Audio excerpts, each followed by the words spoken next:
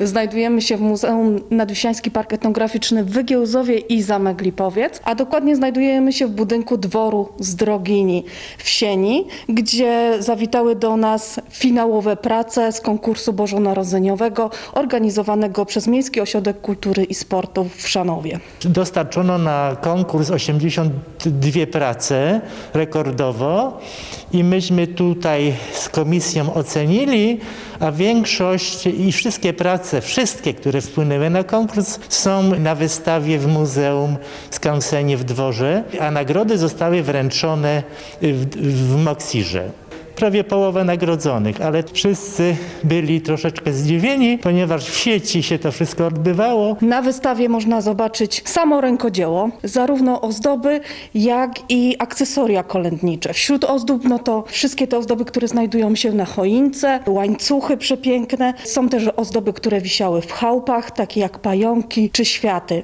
A dodatkowo mamy akcesoria kolędnicze, które Pierwszy raz od dawna pojawiły się w naszym konkursie i jest to kobyłka i głowa turonia. Wszystkie te akcesoria łącznie z maskami są charakterystyczne dla ziemi chrzanowskiej. Charakterystyczne są postacie, które występowały w grupach kolędniczych chodzących tutaj na ziemi chrzanowskiej. Taką grupą przykładową, znaną tutaj na naszych terenach, e, to była grupa Herodowa i w niej były takie postacie jak śmierć, anioł, król Herod czy Żyd. I takie właśnie tutaj znalazły się maski. you. Chodzi tutaj głównie w tym konkursie o to, żeby kultywować tradycję świąteczną, jaką jest robienie ozdób świątecznych. Wykonywali je uczestnicy manualnie przede wszystkim. Dzieci, młodzież i dorośli.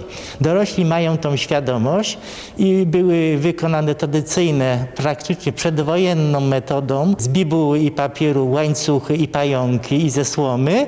Młodzież również jakoś tak się zmobilizowała i, i, i poziom się podniósł w tym roku bardzo dużo. Zresztą można to na wystawie stwierdzić. Za mną mm, przepięknie wykonane wiszą pająki, bo szczęśliwy dom, gdzie pająki są. Takie e, pająki przepiękne zrobione z bibuły i ze słomy robiono właśnie w okresie bożonarodzeniowym. One wisiały później przez cały rok. Mamy bardzo rygorystyczny regulamin, bo niestety eliminujemy plastik. Jest to problemem dzisiaj zdobyć słomę, ale w naszym konkursie tak, bibuła, papier, sznurek i słoma.